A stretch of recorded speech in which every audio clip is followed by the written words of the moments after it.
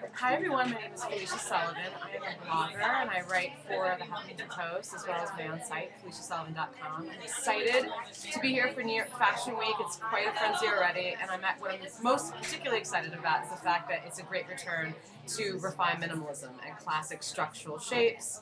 And that's what I'm kind of looking for on the runway this season.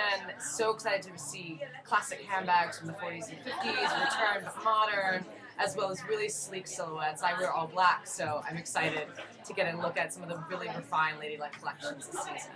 Um, anyway, I've heard some great stuff about the new Acuvue lenses, and I am a contact lens wearer because I'm pretty much blind.